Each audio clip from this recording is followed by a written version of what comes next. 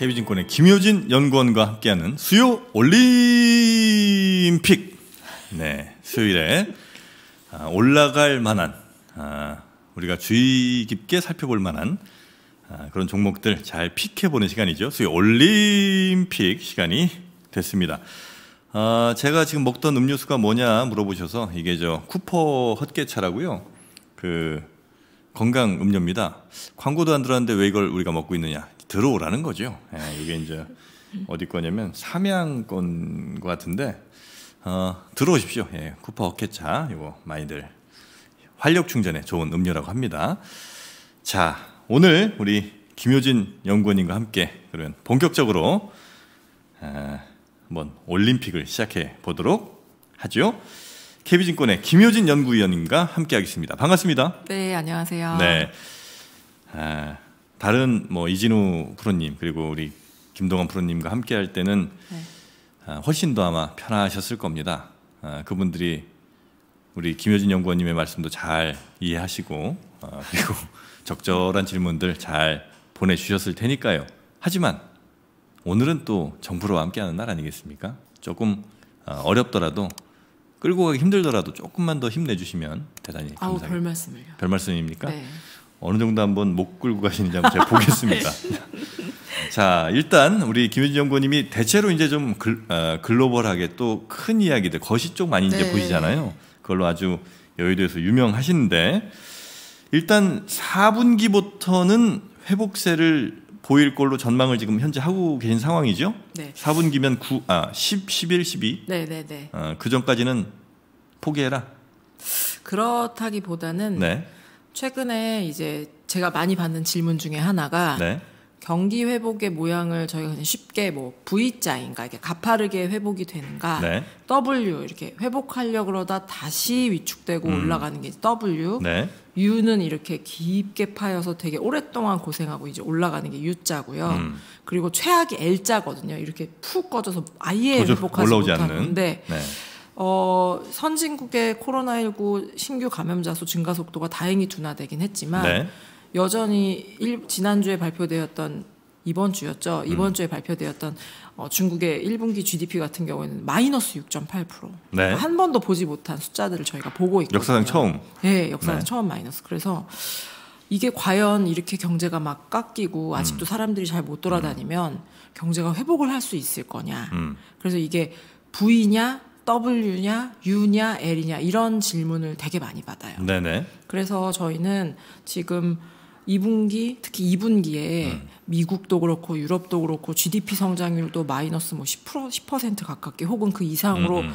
막헉 놀랄 만한 숫자들은 나오겠지만 네. 3큐 말 4큐부터는 이렇게 완만하게 올라가는 그러니까 좁은 부위가 제일 좋거든요. 이렇게 뿅 내려갔다가 뿅 올라가면 제일 좋은데 그건 이미 끝난 거 아닙니까? 안 된다는 거 아니에요? 좀 어렵죠. 네.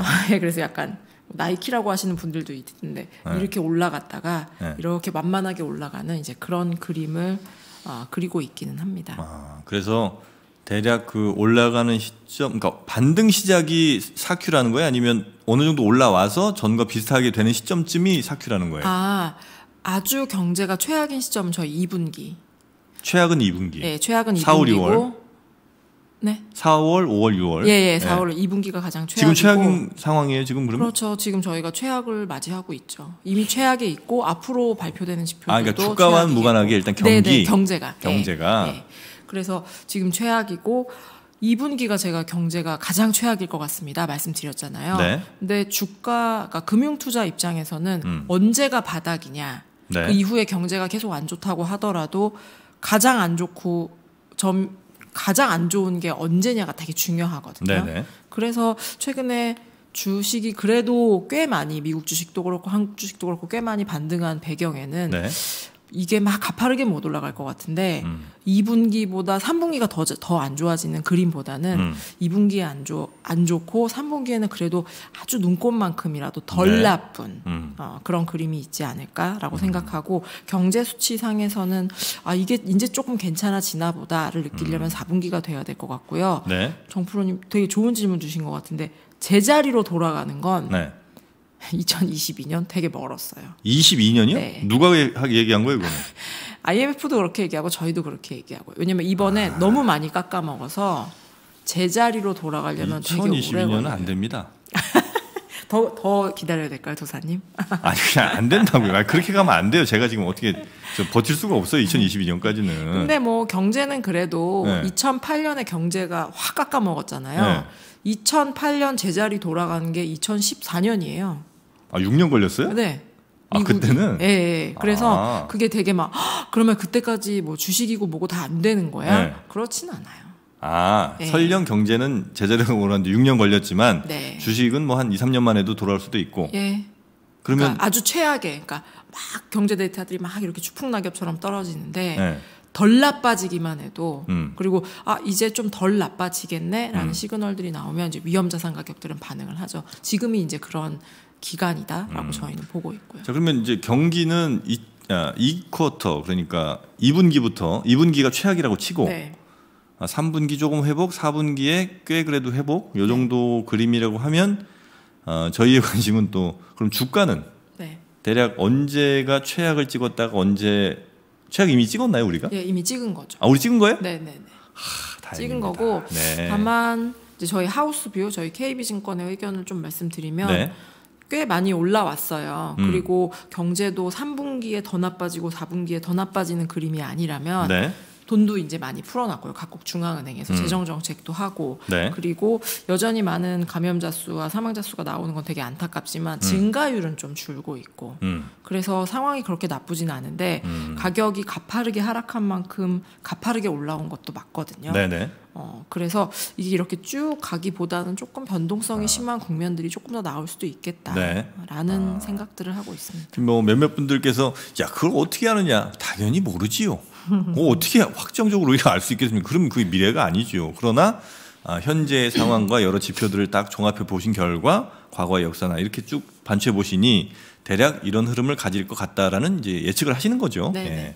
자 그러면 지금 정부에서도 뭐 우리 한국형 뉴딜 얘기를 하고 있습니다. 네. 그리고 또 우리 어, 연구원님께서도 어, 뉴딜이라든지 일본의 뭐 장기 불황 사례도 참고를 하셨다고 하는데 네. 요두 사례가 지금 우리의 상황과 비교할 만한 그런 상황은 맞다는 겁니까? 어, 이 얘기를 좀 먼저 드려야 될 것 같아요. 네. 뭔가 경제가 위축되는 이벤트가 발생했을 때 그런 음. 일이 생겼을 때 네. 국가 정부가 할 수 있는 거는 통로가 두 개예요. 한쪽은 통화 정책을 하고 음. 한쪽은 재정 정책을 하거든요. 이건 네. 음. 정부가 하고 이건 중앙은행이에요. 통화 정책은 중앙은행이 하고 재정 정책은 재무부 같은 데서 하고요. 네네네. 하는데 어 제가 오늘 재정 정책에 대해서 쭉 이야기를 드릴 텐데 보통 보통이랄까 뭐가 더 중요한 건 없어요. 둘 다 중요하죠. 둘 다 중요한데 재정 통화 둘 다 중요하죠. 네, 둘 다 중요하죠. 네. 둘다 중요한데 지금까지 특히 금융 시장에서는 네. 비율은 없는데 만약에 통화 정책을 9를 봤다면 재정 정책 1, 음. 특히 주식은 그랬던 것 같아요. 채권은 좀 아. 영향을 받아도. 그러니까 중앙은행에 훨씬 더 목매다는 비율이 높았다. 더 많이 참고를 하고 리서치도 하고요. 그리고 이제 주 위험 자산 가격 같은데 바로 반응을 하니까. 네. 그래서 이렇게 정프로님도 뭐 연준이 금리를 어떻게 했대요는 아. 되게 많이 들어보셨을 텐데 뭐 네. 재무부가 채권 발행을 어디고 재정 적자가 아, 안 그런. 네. 그런 이야기는 아마 다 저를 포함해서 다른 분들도 많이 들진 않았을 거예요. 쇠도만 들으면 되니까. 네, 그래서 네. 저도 이제 오늘 재정 이야기를 쫙 드릴 텐데, 어, 제가 그래도 15년 넘게 회사 다녔는데, 음. 어, 나도 재정을 잘 모르네. 아, 이제 그런 생각이 들었고, 재정은 제가 조금 더 도움을 드리겠습니다. 네.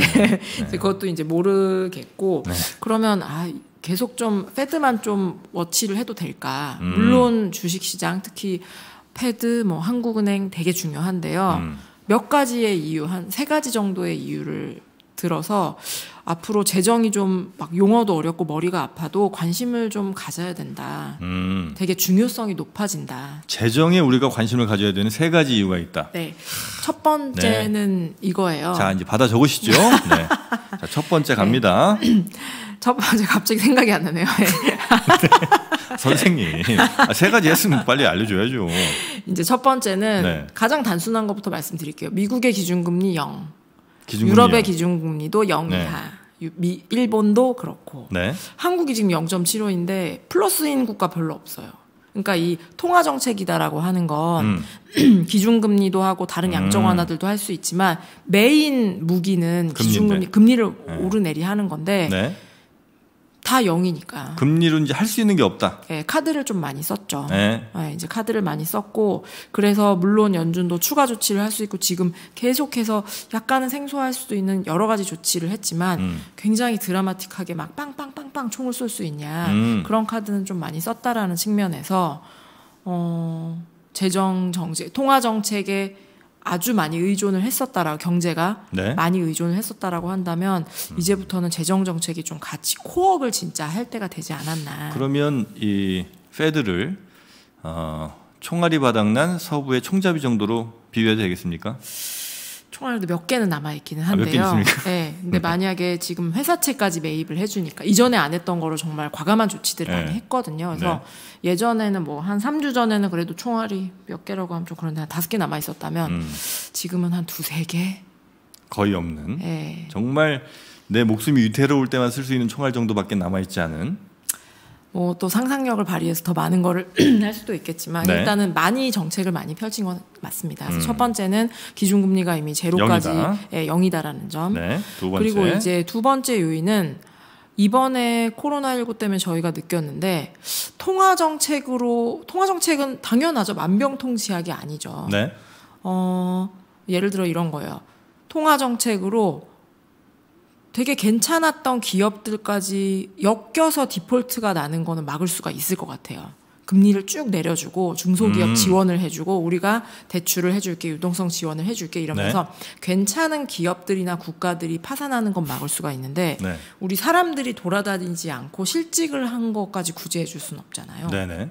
그래서 아 이게 그 경기 침체의 성격마다 음. 써야 되는 게 좀 다른가 보다 라는 생각을 저희가 할 수 있게 되죠. 경기 침체의 성격마다 써야 될 것들이 다르다. 네, 지금은 아직도 논의들은 하고 있지만 주요국이 락다운 정말 못 돌아다녀서 네, 네, 경제가 네, 네. 위축되는데 기준금리를 0으로 내린다 한들 네. 내가 집 밖을 못 나가는데 음. 소비를 얼마나 할 것이며 그렇죠. 월급이 안 나오는데 어찌 할 것이냐. 음. 그래서 미국도 유럽도 그러면은 우리가 뭐 가구당 얼마를 주겠다. 네. 소득에 얼마를 보전해 주겠다. 음. 이제 이런 식의 정책을 할 수밖에 없는 거죠. 그래서 요즘 유튜브 하면서 굉장히 그 액션이 좋아지신 것 같습니다. 저요? 예. 아, 그래요? 락다운에 이렇게 손 오므리시고 얼마를 주겠다에 바로 이렇게 손 나오고 표정이나 이런 것들이 굉장히 과거 한 1년 전보다 엄청 다양해지고 어, 사람들에게 아주 쉽게 설명하려는 의지가 보여서 너무 행복 합니다. 제가 2주 만에 나와서 오늘 좀 네. 열정이 넘치네요. 아 그렇습니까? 다음 몇몇 몇몇 분들이 좀 오해하고 계신 게 있는데 뭐 담배 끊어야 돼. 네. 우리 기- 김효진 연구원님 담배를 안 피우십니다. 아, 제가 목이 안 좋아서. 네, 전자담배 바꾼 지가 언젠데요. 자, 그래서 두 번째까지 했고요. 두 번째까지 했고요. 예, 그래서 이번에는 못 돌아다니는 요인들이 있기 때문에 네. 이거를 통화 정책으로 완전히 어, 회복시킬 수 없다. 이제라는 음. 게 있고 네, 세 번째는 일본의 사례를 살짝 말씀드릴게요. 네, 어, 일본이 주가 고점이 1989년 12월이었었거든요. 음, 근데 주가가 그냥 빠진 게 아니고 절반 이하로 급락을 했어요. 음, 완전 이렇게 패대기가 쳐진 거죠. 네네. 정말 안 좋았는데 음. 경 주가만 빠진 게 아니고요. 경제 성장률도 급가, 급락하고 네. 부동산 가격도 아주 급격하게 하락하고요. 네네네. 그럼 이제 나라가 오 이거 진짜 이상하다라는 음. 기운이 있었는데 보통 경기 위축이 되면 금리도 내리고 재정도 풀잖아요. 음. 근데 1989년 12월 이후에 주가가 그렇게 급락했음에도 불구하고 일본의 재정 수지는 4년 동안 흑자였어요. 거둔 거보다 쓴게 아, 그래요? 적어요. 예. 그러니까 몇 년도예요? 1990, 91, 92, 93까지. 오, 그러니까 좀 희한하죠. 흑자. 어, 근데 네네. 한국 약간 아시아인이 그런 건가. 재정 건전성이라는 건 중요한데 아. 이게 막 빚을 내서 쓸 수는 없으니까. 그거에 많이 좀 무게를 두는 게 대체로 이제 동유 동아시아에 있는 국가들이 재정 한국도 이제 그렇긴 하니까요. 음. 그래서 재정 건전성이 중요하다라는 이제 주장이 하나가 있었고 네. 더 중요했던 것은 어, 이 경기 침체가 그렇게 부- 장기 불황으로 갈 거라고 생각을 안 했겠죠. 그때 당시 일본은 예. 예. 그래서 그럼 재정도 요만큼 좀 쓰고 금리도 뭐 요만큼 인하하면은 우리가 이제 그 당시에 세계 넘버 투였으니까 괜찮아지지 않겠어? 네. 라고 생각을 했는데 일단 나중에 평가는 장기 불황에 빠지고 보니 네. 그때 좀 돈을 더 썼었더라면 아, 그때 금리를 더 썼었더라면 서 네. 결국은 골든 타임을 좀 놓친 것이 아니냐라는 음. 평가를 많이 받았죠. 네네. 네. 그래서 지금 미국 특히 미국 같은 국가별로 보면은 미국은 음. 만약에 뉴스에서 뭐 2조 달뭐몇조 달러 네네네. 정도 할 것 같다. 그러면 한 되게 빠른 시간 안에 그거를 상회하는 금액의 재정 지출을 하거나 시장이 깜짝 아니면, 놀라게. 예, 그래서 뭐 연준도 연준도 이렇게 상황이 이렇게 되면 기준금리를 내리겠지라고 하는데 연준이 기준금리 인상하는데 5년 걸렸거든요. 예고하고 음. 올리는 데까지. 네. 진짜 그렇게 오래 걸려서 금리를 인상했음에도 불구하고 제가 날수를 세봤는데 13일 만인가 만에 5년 동안 올린 걸 제로까지 내렸거든요. 13일 만에요? 네. 와, 그럴 수가 있어요. 그러니까 저희도 내릴 거라 아, 저도 어. 내리겠지 다른 네네네. 내리겠지 했는데 그거보다 훨씬 빠른 속도로 야, 근데 뭐 조금 저 새는 얘기긴 합니다만 91년 얘기하시니까 그때 제가 그 삼포 우리 만두라는 데에서 네. 아르바이트를 한 두 달인가 해서 음. 저녁에 아, 아이와 카세트를 샀습니다. 일제. 음. 그때는 이제 그 3파전이었어요. 어, 파나소닉, 네. 소니, 다음에 아이와. 음. 예, 그랬는데 그거를 도서관에서 어떤 놈이 가져갔습니다. 잊을 수 없는 사건이네요. 와, 정말 저는 한밭도서관 잊지도 못해요. 한밭도서관 제2열람실에서 앉아서 잠깐 화장실 갔다 왔거든요. 와, 아이와 카세트 그 14만 원인가 그랬어요, 그때. 그게 이제. 니켈 카드뮴 건질 전, 전, 전지 충전지를 충전되는 써갖고, 거. 예, 그래서 엄청 좋았다고요. 아이와께 날아갔다는 그 91년 때가 생각이 납니다. 네. 네. 하여튼 뭐 좀 쓸데없는 얘기해서. 예, 하여튼 일본과 관련된 네. 저의 추억은 이제 그 정도입니다. 예, 91년은. 그래서 이제 요 세 가지의 이유를 들어서 네.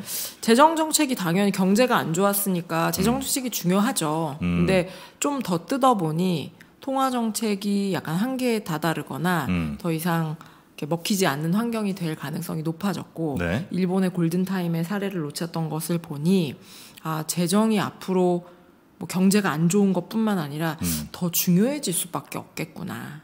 더 중요해질 수밖에 예, 없다. 더, 더 중요해질 수밖에 없다. 그게 이제 지금까지 말씀해 주신 게 우리가 통화 정책보다 재정 정책 그러니까 정부가 어떻게 하는지를 더 중요하게 봐야 되는 이유 세 가지였던 네. 거죠. 예, 네. 그 이제 세 가지를 말씀을 드렸고 네. 그러면 재정이 중요해질 텐데 한 단계 더 나아가 보자면 음. 지금 한 3주 전에 가장 많이 나왔던 것 같아요. 자고 일어나면은 미국에서 뭐 몇 조 달러의 네. 경기 부양책을 통과시켰다. 네. 유럽도 뭐 몇 천억 유로를 통과시켰다. 네. 근데 이 규모가 사실은 되게 어마어마한 게 음. 이렇게 보통 billion 이렇게 많이 나오고 trillion 이렇게 나오면은 네, 네. 저도 그거를 이렇게 딱 계산하는데 좀 시간이 걸리거든요. trillion. 근데 이게 숫자가 너무 크니까 음. 어 내가 숫자를 하, 공을 하나 더 붙였나라고 하는 사실은 규모였었어요. 아. 네, 그러니까 이게 보통 GDP에 뭐 독일, 프랑스, 뭐 영국, 미국 할 것 없이 네. 10에서 20% 정도 전체 GDP에서 10에서 20%를 며칠 만에 이렇게 유동성 지원을 하고 이렇게 가계에 지원을 하고 막 하겠다라고 통과를 다 시킨 거예요. GDP의 10%면 우리나라로 따지면 얼마나 됩니까? 대충. 한국의 GDP가 1,600조 원이 아니었나? 어, 그럼 한 160조로 그냥 네. 한 며칠 만에 그냥 써버리는 거예요? 네. 그러니까 한국의 GDP보다 더 큰 금액을 미국은 그냥 한 번에 우리 이만큼 쓰겠다라고 네네네. 한 거니까요. 엄청나죠 금액으로 따지면. 대단하네 진짜. 네. 또 그래서 이제 네. 내가 공을 하나 더본 것인가라고 음. 생각할 정도. 그래서 돈을 진짜 많이 풀었어요. 네. 진짜 많이 풀었는데 제가 또 요즘 많이 받는 질문 중에 하나가 돈이 그렇게 많이 풀었으니까 회복은 하겠죠. 음. 라는 질문 아니면 이렇게 많이 풀었는데도 회복을 안 하면 어떡하죠? 아, 그땐 진짜 방법 없네요. 네, 근데 재정 지출의 또 성격을 또 우리가 좀 봐야지 돼요. 재정 지출의 성격을 봐야 된다. 네. 자, 이제 또 시작합니다. 네, 그래서 무려 90년 전에 있었던 뉴딜을 제가 아주 요약을 해서 말씀을 좀 드릴게요. 90년 전에 있었던 미국에서의 뉴딜. 네. 1930년대 미국에 대공황이 있었어요. 네. 근데 이게 대공황이 어느 정도 심했냐면 GDP가 몇, 몇 년, 한 2, 3년 만에 마이너스 30%가 깎이고. 음. 그러니까 올해 2020년 경제 성장 전망을 마이너스 3% 정도 저희 보거든요. 네. IMF도 그 정도 보고 음. 보는데 이게 막 눈을 의심할 정도의 숫자인데 그때는 마이너스 막 30% 이렇게 갔어요. 네네. 2년 만에 그러니까 엄청나 정말 대공황이었던 셈인 음. 거예요. 그래서 이게 안 되니까 어, 통화 정책도 안 되고 은행은 파산하고 음. 너무 이렇게 빈민들이 너무 넘쳐나고 네. 네, 이러다 보니 우리 뭔가 새로운 정책들을 해야 되지 않을까? 음. 그래서 정말 뉴딜을 해보자라고 해서 그게 뉴딜 정책이에요. 음. 그리고 어, 미국도 그렇고 유럽도 그렇고 원래는 작은 정부를 추구해서 정부는 이렇게 가만히 있고 시장에 맡기는 것이 옳아라고 네. 하던 시기에 아니다 이 정도 사탄 사단이 나면 음. 이제는 우리가 나 정부가 나서야 음. 된다라고 한 약간 되게 드라마틱한 변화이긴 했습니다. 네. 그래서 저희가 기억해야 되는 건 뭐냐면 이 뉴딜 정책이 저도 90 그냥 어, 대공황 때 뉴딜이 있어서 경제가 좀 좋아졌다더라 한 이 정도밖에 사실은 잘 몰랐거든요. 그렇죠. 네. 근데 막 뜯어서 보니까 어, 뉴딜이 3단계로 진행이 됐더라고요. 3단계? 네, 3R이라고 하던데 맨 처음이 구제, relief. relief. 네. 두 번째가 recovery, 회복. relief는 R E L I E F입니다. 네. 그리고 두 번째가 recovery. recovery. 네. 그리고 세 번째가 리폼, 개혁. 아. 그래서 요 3단계로 요약이 되고 진행이 되었고요. 구제 회복 그다음에 개혁. 네. 아. 그래서 어, 이 3R로 진행이 됐었고 뉴딜을 전기 뉴딜하고 후기 뉴딜로 나뉘는데요. 네. 전기는 구제에 되게 많이 집중을 했었어요. 일단 너무 경제가 깎여 먹고 아. 그리고 사람들이 위기에 놓인 실직자, 사람들. 예, 실직자가 너무 많고 한계에 다다른 가정이 많으니까 일단 이 구하고 보자. 이들을 구하고 보자. 네. 라고 해서 구제 정책을 펼쳤다가 전기 뉴딜이 2년 만에 끝나는데 음. 왜냐하면 잘 안 됐어요. 아, 이 뉴딜이 예, 실패를 그러니까 이 전기 뉴딜, 그러니까 1차 아, 뉴딜은 네. 그렇게 성공하진 못했고 정책도 너무 혼란스러웠고 네. 뭔가 경제가 다시 돌아가는 듯한 음. 어, 걸 못 줬습니다. 네, 네. 그래서 아, 이 방향대로는 안 되겠다라고 네. 하면서 후기 뉴딜로 넘어가요. 후기 뉴딜. 후기 뉴딜로 가면서부터 집중한 것은 바로 recovery와 관련된 정책. recovery. 예. 뭘 recovery 하는 거예요? 경제를 recovery 하기 위해서 정책을 펼쳤고 네. 분야별로 말씀드리면 여러 가지가 있지만 일자리 창출. 일자리 창출. 네. 그래서 여러 가지의 변화가 있는데 전기 뉴딜에서는 너무 이 일자리를 잃은 사람들이 많으니까 거기에 일단 소득 이전 지출이라고 하는데 소득을 보전해 주거나 음. 정말로 물건을 빵을 사서 주거나 이런 활동들을 더 열심히 했었거든요. 정부에서 빵을 사서 사람들한테 나눠줬다고요? 네, 그러기도 했어요. 어. 네, 사람 줄을 서가지고 빵을 막 받아가고 그러더라고요. 네네. 그래서 이제 받아가다가 음. 어 이게 계속 계속 돈이 쓰이잖아요. 네. 그러니까 이게 아 이게 한도 끝도 없고 네. 경제가 좋아지지 않는 것 같다라고 하면서 그러면 이 똑같은 돈을 쓸 거라면 네. 일자리를 창출하면 음. 이게 뭔가 선순환이 되지 않을까라고 아, 그냥 해서 사서 나눠주는 건 소모적인데 네. 일자리를 만들어서 뭔가 일을 시키면 그 사람들이 계속해서 뭔가 할 거기 때문에 네. 아 이거는 계속해서 좀 아, 유지가 좀 될 것 같다. 네. 네. 그리고 이제 전기에서 후기로 넘어올 때 전기에 대한 실패, 뭐 반성 이런 것도 있었겠지만 네. 일본하고 같아요. 경제가 팍 깨지고 나서 음. 이러다가 우리가 좀 이렇게 안정 정책 같은 거를 펼치면은 경제가 이제 또 금방 음. 올라오겠지라고 생각했는데 이게 막 2년 3년 지연되다 보니 네. 어 이거 이런 식으로 하다가는 우리가 진짜 큰일 나겠다. 음. 정말 L자가 되겠다. 네. 라고 인식의 전환을 하면서 네. 이런 일자리 창출, 인프라 투자 네. 이제 이런 것들을 한 거죠. 어. 왜 이런 얘기를 막 드리냐면 지금 미국이 하는 정책, 유럽이 하는 정책, 대부분 국가들이 하는 정책은 1단계예요. relief. 음. 소득을 보전해 주거나 네네네. 원래는 괜찮았었는데 지금 유동성이 딸리고 있는 아. 그런 기업들한테 주- 이렇게 뭐 소기업 지원책 이런 것들을 하고 있죠. 근데 그건 당연해요. 지금 아직 코로나19 사태가 뭐 주식만 올랐지 마무리된 게 막 아니니까. 엄청 안정된 거는 아니잖아요. 네네네. 네. 그래서 지금은 구제에 되게 포커스를 맞추는 것이 당연한데 아. 제가 아까 경제가 22년 돼도 제자리 못 올 수도 있습니다라는 말씀 드렸잖아요. 음. 네. 그럼 사실은 주식은 그 전에도 오를 수 있지 어, 있을 수도 있지만 경제만 놓고 보면 이거는 되게 긴 이슈인 거예요. 음. 네네네. 음, 그러니까 그래서 이건 릴리프라는 거는 결국은 아, 당장 필요한 것이고 안 할 수는 없는 것이지만 이게 지속 가능하지는 않다. 그렇다면 세계 각국 정부들이 선택할 수 있는 거는 결국 리커버리 쪽으로 갈 거다. 네 가야 한다. 가야 한다. 네. 아, 가겠죠. 어 근데 이게 되게 잘 가, 그거를 가려야지 돼요. 왜 이런 이야기를 드리냐면 네. 그런 쪽으로 잘 순항하는 나라가 있을 테고 네. 그쪽으로 늦게 가거나 일본처럼 못 가는 나라가 생길 음. 거예요. 그러면 요즘 글로벌 투자 많이 하시잖아요. 네네. 그러면 그쪽으로 잘 가는 국가가 있으면 어, 저 나라는 지금 경제가 아. 되게 안 좋아도 나중에 결과적으로 이거를 다 회복을 하겠네라고 저희가 판단을 할 수 있는 거고. 잘할 나라가 혹시 보이십니까? 아니면 어떤 사인들을 보면 그 잘할 나라를 우리가 판단할 수 있습니까? 이게 재정 정책이 제가 어렵다고 말씀드렸던 게 네. 성격까지 막 이제 나왔잖아요. 네. 그래서 한 3주 정도 전부터 미국이 인프라 투자를 우리는 다시 해야 된다. 여러 차례 검토를 했던 정책이니까 경제도 어려우니 인프라 음. 투자를 다시 재개하자. 네. 2조 달러의 인프라 비를 뭐 통과시키자. 음. 이런 식으로 미국 의회에서 푸시를 하고 있는데 네. 저는 제대로 방향을 잡았다고 생각이 들죠. 미국은 네. 아, 그리고 미국도 이 recovery 맨 처음에 미국에서 법안을 통과시켰던 게 relief bill이거든요. 네. 그래서 그냥 그때는 저도 영어를 그렇게 잘하지 못해서 그냥 그런가 보다 하고 넘어갔는데 음, 이 그때 나왔던 칼럼들도 다 그런 식이에요. relief를 넘어서 recovery로 가야 된다. 아, 그게 궁극적으로는 reform이다. 네. 음, 그 뉴딜 때 나왔던 얘기를 네. 그 다시 하는 거군요. 예, 그래서 저도 이제 공부를 하고 다시 보니 네. 아, 많은 시행착오도 있었고 절반의 성공도 있었던 사례가 뉴딜이고 아. 지금 대공황 때 비견되는 정도의 경제 위축이라면 네, 네. 내가 미국의 정책을 하는 사람이면 그때를 좀 많이 참고를 하겠네. 그런 거 이게 공부하시다가 좀 막힐 때는 연락 주세요. 네.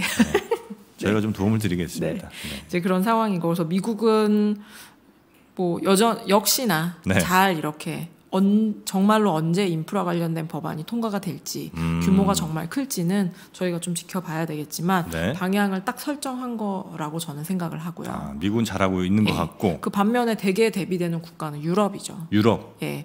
미국의 독일이나 프랑스 같은 재정 여력이 있는 국가들은 음. 이미 많은 뭐 소득 보전도 해주고 중소기업 관련해서 유동성 대출도 해주고 많은 패키지들을 통과를 시켰어요. 네. 그런데 뭐 통합 채권에 대한 뭐 승인이라든지 그러니까 이- 음, 독일만 있는 게 아니라 이탈리아, 스페인 이렇게 감염자도 많고 경제 여건도 네. 상대적으로 안 좋은 국가들이 있는데 다 같이 가기에는 너무 잡음이 여전히 많아요. 아니 거긴 또 그리고 이제 그 EU라는 하나에 묶여 있긴 해서 막 네. 각국들이 마음대로 하지도 못하고 네. 그러다 보니까 뭔가 제대로 된 방향을 확실히 정해서 딱 끌고 가기가 좀 쉽지는 않겠네요. 뭐 쉽지는 않겠는데요. 근데 뭐 유럽도 최선을 다하고 있다라고 생각은 하지만 음, 이건 약간 인명과 관련된 문제들도 있는데 네네네. 계속 이렇게 룰 룰에 너무 이렇게 계속 얘기하는 게 맞나? 자 그럼 뭐 심플하게 그러면 유럽 제외하겠습니다. 예, 그러면 미국 가고. 네, 그래서 예. 뭐 경제 성장률 올해도 뭐 유럽이 더 많이 부진하겠고 음, 어, 내년에도 더 부진 상대적으로 격차가 점점 더 벌어질 수밖에 없는 환경. 우리는 어떤지 혹시 좀 한국은 사실은 금리도 가장 작은 폭으로 내렸고요. 네. 그리고 재정 추경도 GDP 한 1%대? 아직 총알이 좀 많이 남아 있다는 건가요? 어, 그런 면도 있고요. 네. 그리고 최근에 환율도 사실은 뭐 1200 몇십 원에서 계속 왔다 갔다 해서 아, 환율도 아직 불안해라고 생각하실지는 모르겠지만 네. 다른 나라들 환율하고 비교하면 굉장히. 안정적이에요? 네. 어, 그래서 이 코로나 사태를 초기에 아직 영명이 되진 않았지만 네. 초기에 그래도 안정된 국가에 속하거든요. 네. 한국이 현격하게. 음. 예. 그래서 더, 더 적은 돈을 쓰고 경제가 좋아질 수 있다면 사실 그게 제일 좋잖아요. 음, 그래서 한국은 약간 그런 모양새고 가고 있지 않나. 네. 라고 저는 보고요. 지금 이제 뭐 실시간 댓글 창에 뭐 자꾸 뭐 여의도 공효진 이런 얘기 좀 올라오는데요. 아이고 공효진보다 100배 훨씬 더 매력적이시죠. 우리 왜 말을 저두세요? 아니 우리 저 김효진 연구원님 아 이름도 진짜 김효진이시네. 예. 근데 제가 다 두 분 다 실물을 봤습니다. 비교도 안 돼요. 공효진이 자꾸 이렇게 뭐 꾸미고 이렇게 저 미용실 좋은 데 가고 하니까 그런 거고 우리 김효진 연구원님이 훨씬 더 매력적이시고 예, 경쟁력 있으십니다. 여러분 뭘 잘 모르시는 것 같아요. 저희가 조명만 그렇게 저 드라마 찍은 것처럼 해봐요 어디 한번 비교나 되나. 아, 네. 자, 그래서 어, 일단은 미국은 어, 방향은 잘 잡은 것 같다. 네. 그리고 우리나라는 아직 쓸 수 있는 카드들이 조금 더 어, 네. 남아 있는 상황이니 만약에 남은 카드들과 방향만 제대로 잡는다면 괜찮은 조건이다. 네. 어, 그렇게 좀 네. 보면 되겠고요. 라는 생각이 시- 들고 제가 뉴딜에서 되게 많은 재밌는 게 있는데 일단 다음에 또 이야기를 드리도록 하고 네. 그러면 궁금하신 게 인프라 투자 알겠다. 음. 뭐 하겠지. 언젠가는 하겠지. 네. 그런데 이게 만약에 종목이나 산업으로 보는 게 끌어내 더한 단계 나갈 수 있을까? 네. 그걸 고민해봤는데 제가 아까 재정 지출의 성격에 대해서 말씀드린 거잖아요. 네. 구제 성격의 이전 지출도 되게 중요한 부분이지만 음. 경제가 정말 회복이 되려면 인프라 투자, 일자리 창출과 관련된 인프라 투자로 가야 한다라는 네. 말씀드렸잖아요. 그럼 한 단계 더 나아가 보면 어떤 인프라 투자? 아. 지금 보통 우리가 생각하는 건 건설 뭐 이런 거거든요. 예, 뭔가 다르지. 사람을 많이 써야지 되니까 그렇죠. 뭐 에너지 부분도 있을 테고 네. SOC와 SOC. 관련된 거 예. 그리고 예전 트럼프 대통령의 공약에 들어 있는 것도 그런 것들이고 음. 그러니까 뭐 거- 교량, 뭐 학교를 개보수하고 네, 네. 철강 쪽에 좀더 인풋을 하고 에너지 음. 쪽에 인풋을 하고 네. 그런 것들을 하는데 저는 올해 뭐 미국 선거도 있고 음. 그리고 고용 고용 유발 예수라고 하는데 음. 사람이 많이 쓰는 일을 지금 해 그런 산업을 벌려야지 되는 거잖아요. 네. 그래서 그쪽이 아무리 봐도 건설이 가장 매력적이에요. 건설. 예. 그런데 저는 저희가 흔히 딱 인프라, SOC 이렇게 생각하는 거가 아주 포커스가 되진 않을 것 같아요. 우리나라에서 아니면 미국에서요? 미국에서도 그렇고 한국에서도 그렇고. 아, 그렇습니까? 예. 왜냐하면 이게 국가 차원에서 돈을 쓸 때는 네. 당장의 안정도 중요하지만 네. 이게 저 멀리에 국가의 방향하고도 맞아야지 되는 그렇죠. 거잖아요. 그리고 뭐 건설 다 좋은데 네. 건설은 물론 중요한 부분입니다만은 네. 경제에서 그럼 이렇게 커질 수 있는 분야는 아니거든요. GDP에서 비중도 계속 줄어들고 지금 그러면 네. 장기적으로 나라를 더 부강하게 너무 선거 캠페인 같네요. 부강하게 만들 수가 있고 네. 그리고 사람도 개중 쓰는 분야는 뭔가 태클을 붙일 수 있는 SOC들인 거죠. 태클을 붙일 수 있는 SOC가 뭐 있어요? 그래서 저도 어, 그런 게 되게 목적에는 싹 맞는 것 같은데 그게 뭐가 있을까라고 이렇게 뒤져봤더니 아, 5G 안테나 까는 거? 이런 것도 SOC인가? 네, 맞아요? 네, 통신망 건설 이런 거? 네. 그러면 네.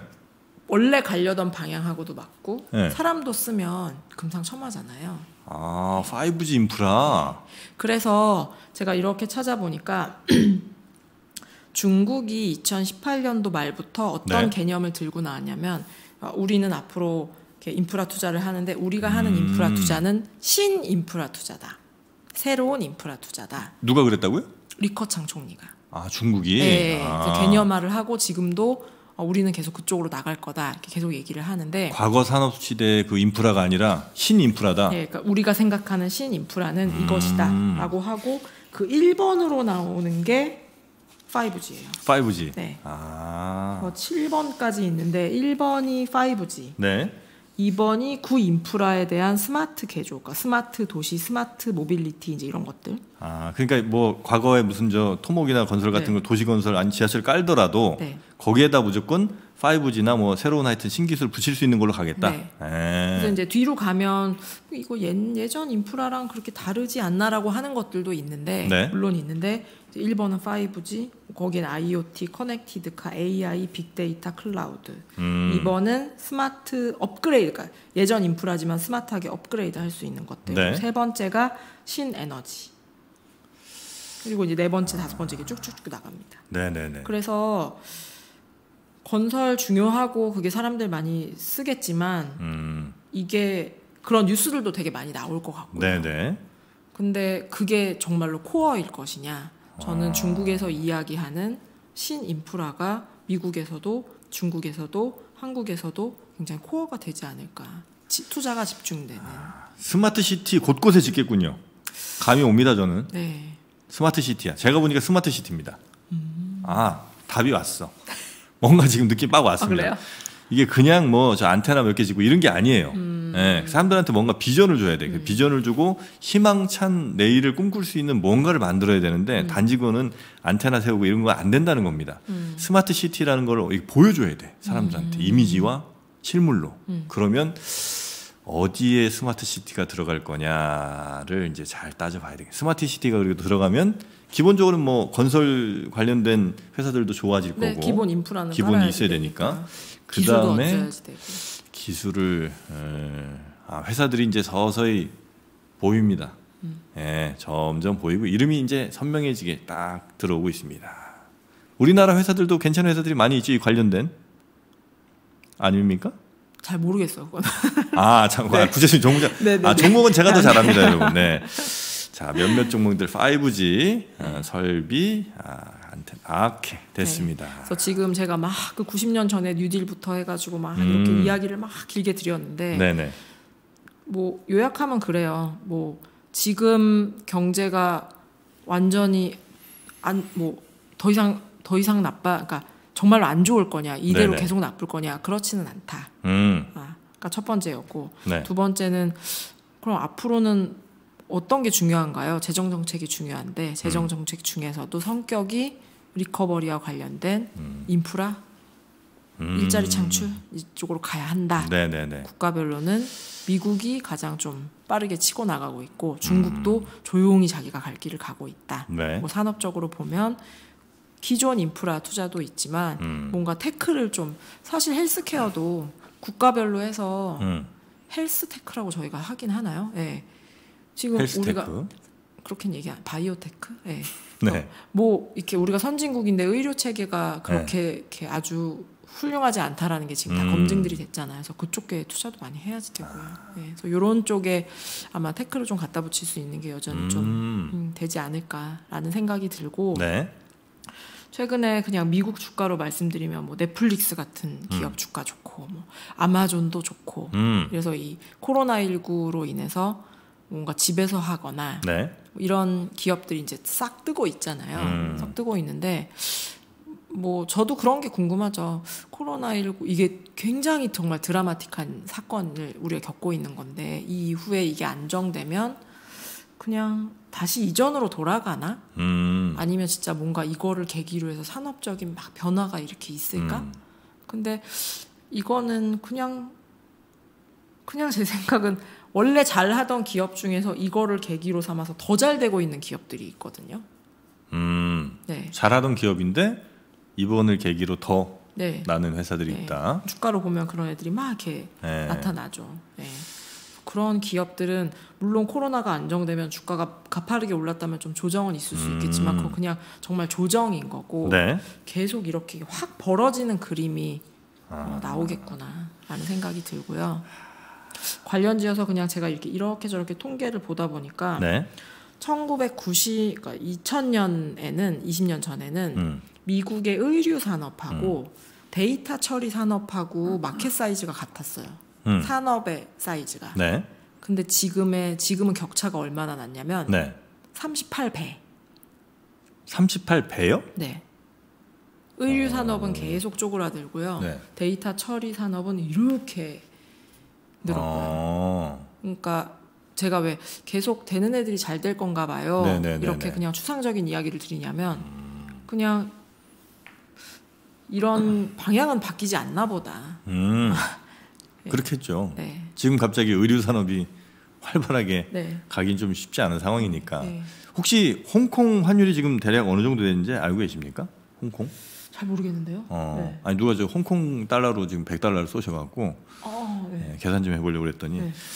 자, 하여튼 그래서 오늘 말씀을 대략 정리를 좀 해보자면 아, 우리나라나 뭐 하여튼 전 세계가 지금 뭐 새로운 이 상황에서 뭐 뉴딜이라든지 하여튼 경제를 살리기 위한 여러 가지 노력들을 하는데 그 중에서도 통화보다는 재정 정책에 우리가 집중을 좀 해야 되고 재정 정책이 어디로 가는지를 방향 파악을 잘 우리가 해야 아, 클 수 있는 곳에 잘 투자를 할 수가 있다. 근데 아, 김효진 연구원님께서 보시기에는 아마도 5G와 관련된 아, 뭐 건설 혹은 뭐 5G와 관련된 어떤 것이 에, 인프라가 될 것 같다. tech 관련된 biotech가 되었건 음, 하이테크라고 하는 저희 그 컴퓨터 tech, 네. 반도체 tech가 되었건. 음, 그런 것들로 가능성을 좀 높게 보신다는 거죠. 네. 알겠습니다. 오늘 그래도 이 방송이 아주 깔끔하게 답이 이렇게 어떤 날은 이제 방송하다 보면 뭐 결국 결론들이 막 한 12개로 나오는 경우들이 있거든요. 근데 오늘은 아주 심플하게 잘 하나로 모아져서 아주 좋습니다. 수요 올림픽에 딱 맞는 그런 날이 아닌가 싶습니다. 어떻게 정프로랑 오늘 오랜만에 예, 이렇게 하셨는데 어떠셨는지 모르겠습니다. 아, 아, 네, 네, 알겠습니다. 네. 또 마지막에 깔끔 정리 감사합니다. 네, 이렇게 뭐 강요한 건 아니었는데요. 예. 우리 저 김효진 연구원님 어, 계속해서 저희와 함께 어, 큰 그림을 또 그려주셔야 저희도 그 큰 그림 안에서 작은 그림들을 또 잘 그릴 수 있지 않겠습니까? 큰 그림이 중요합니다. 아시겠죠? 네, 우리 김, 네. 김효진 연구원님과 함께 어, 거신 하여튼 우리 김 연구원님께 저희는 그냥 의탁하겠습니다. 굳이 저희가 생각하지 않고 왜냐하면 거시 이거는 진짜 알기가 너무 어려워요. 예, 복잡하고 어려운 얘기도 많고 예, 종목은 제가 가겠습니다. 그리고 우리 큰 그림은 우리 김현진 연구원님께서 좀 보여주시면 감사하겠습니다. 지금 몇몇 분들께서 정프로 빨리 저 종목 공개해달라. 그래야 이제 그거 빼고 사니까 뭐 이런 분들이 계신데 저 그렇게 만만하지 않습니다. 아, 여러분이 원하신다면 제가 다음 주쯤 음, 계좌 공개할 수도 있습니다. 아, 보통 내기가 아닙니다. 정프로가. 네. 그렇게 좀 알아주시면 감사하겠고요. 오늘 어, 오랜만에 우리 김효진 연구원님과 함께 어떤 저녁 퇴근길 페이지 2 깔끔하게 마무리하도록 하겠습니다. 함께 해주신 우리 김효진 연구원님 대단히 고맙습니다. 네, 감사합니다. 네.